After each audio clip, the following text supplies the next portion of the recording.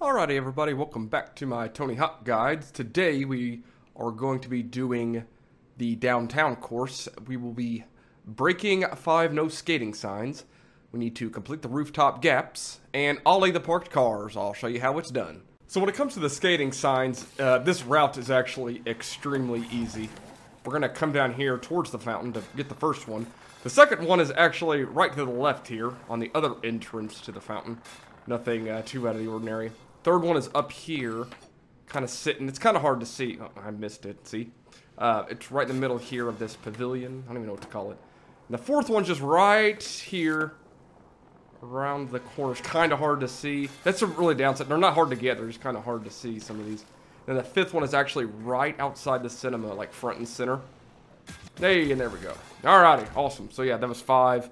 No skating signs. Next up is the parked cars. We have to ollie them. Now, this is by far the easiest of all of them. It takes no time at all. The route's very easy as well.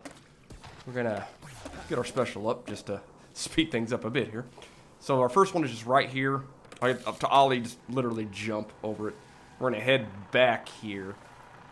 And the second one is to our right. Just sitting right here on the side of the road. And the third one is right around the corner as well. and there you go. There's the third one. That was by far the easiest objective probably in this game I've done so far. But yeah, that's it. Nothing, nothing too tricky about it. Easy objective to complete. Next up, though, is a little bit of a different story. We're going to get the three channel gaps here. Alright, so this is time sensitive. Uh, this one you really can't screw around on. Maybe maybe you can, but I this is the easiest route I found. I hope I'm not doing this the wrong way and making it way more difficult, but we want to get our special up. We need to go to the roof, obviously, for rooftop gaps. Uh, we need to take the shortcut. We need as much time as we can get here. So the first one is... We've been there before to get the secret tape. We're going to jump across here. I would boneless off of it at, and... Uh, to get the first one easy enough. The second one, we're going to get up here. I'm going to uh, line myself up with the rail. Actually, I'm going to go on the other side here. And we're going to launch off this. And you're going to have to grind on that and land it. And that was the second. It's kind of hidden. It's kind of, That's a stupid concept, in my opinion. The third one isn't near as bad. That's the hard part. If you can nail that, you're you're pretty good, as long as you have enough time left. Now the third one, we are going to have to go back to the roof.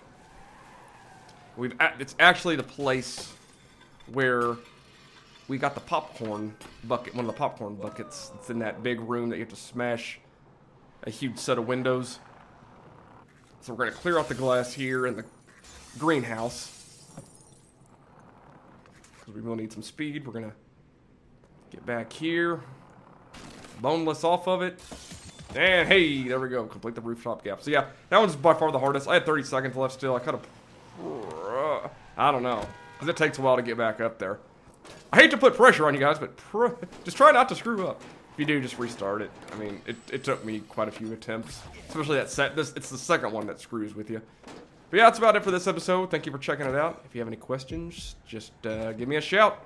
Take care, guys. Peace out.